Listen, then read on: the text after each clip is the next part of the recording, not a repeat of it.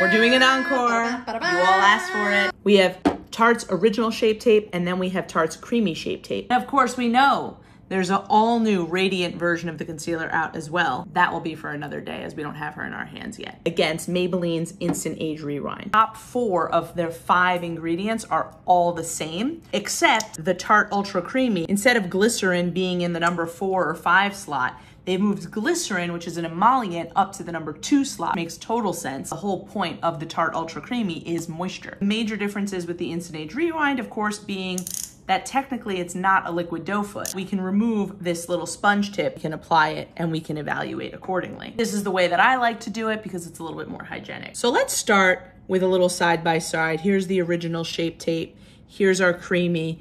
And then I'm gonna go with my third finger here of the Maybelline Instant Age Rewind. What I'm feeling, creamiest of all of these is definitely our Tarte Creamy. In fact, it's still giving me slip, glide, and movement, and that's that glycerin at that number two slot.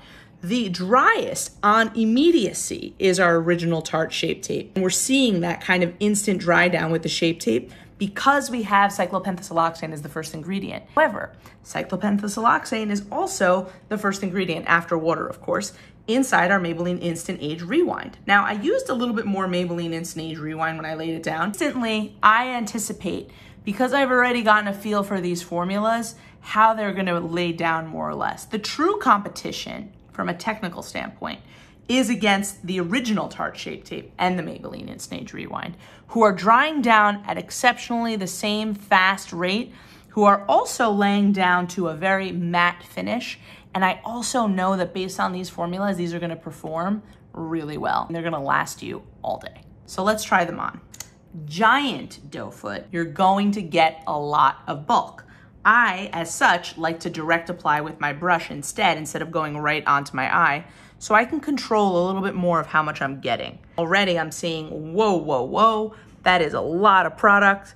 It's quite light, but I do know that from using this product, it will oxidize for us. Look at that laydown and look at that like extreme coverage. I know this to be quite dry, and in fact, this color is a touch light for me. Thing is already dry. There was no time to even move her and adjust her accordingly. When something dries as quickly as this, usually it has those silicones in that we've talked about a lot. But you're gonna wanna be really mindful of when a concealer dries down this quickly and is designed for that full maximum performance. Does have a tendency then to settle a bit in our lines here. What I am gonna do very strategically is layer on my creamy on top on this side, which will also bring the color more to the level that I like it. A little bit of the creamy. You're someone that's dry in their under eyes like me use the creamy instead of the original. Let's go right in. Know that this takes a little longer to dry down because I've evaluated.